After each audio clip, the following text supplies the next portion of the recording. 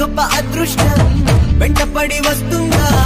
అందుకే ఇలా ఇలాగాలో తేలిపోనా? పక్కనే నువ్వుంటే